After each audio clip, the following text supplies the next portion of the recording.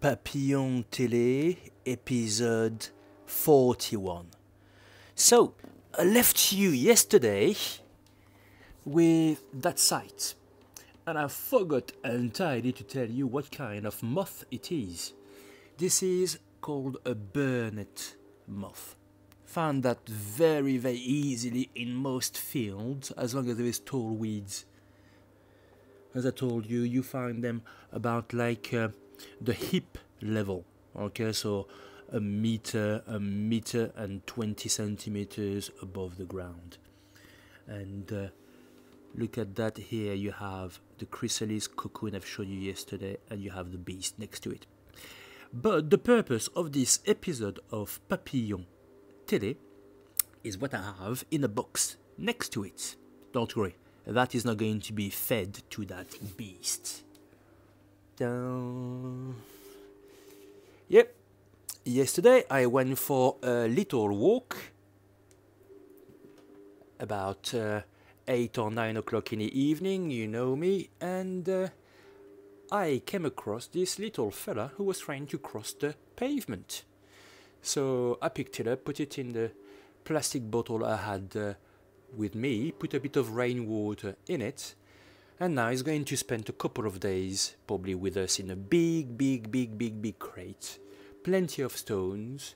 We're going to feed him with uh, flies, but mainly uh, worms, because we have a couple of uh, compost bins uh, in our garden, and inside, after we're going to stir a little bit the compost, we're going to find easily some worms. So, as you can see, our friend is a toad. Okay, it's not a froglet. I thought it was a froglet, but it was dark yesterday, but that's toad.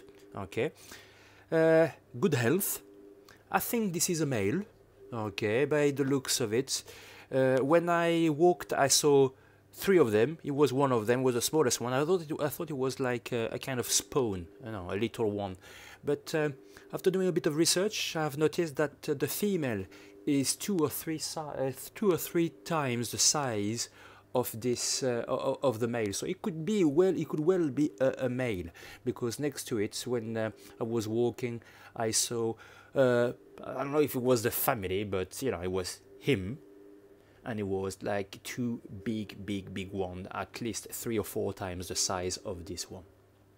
So I'll introduce you uh, our toad for next couple of days, and after we're going to return it exactly to the same place I found uh, I found him, or at least somewhere where there is a pond. But uh, remember, if you are taking wildlife, it's much better to release them to the same environment. So the burnet moth we have, you know, is going to go back to the same field, hopefully the same area, okay, where we found him and uh, this little fella, which I've called Kermit, because obviously of the Muppet Show, Kermit he will go back to the same area I found him in a couple of days after we just do a bit of observations with him. Right, so that's the end of uh, Papillon Télé, épisode 40. Bonne nuit, papillon de nuit.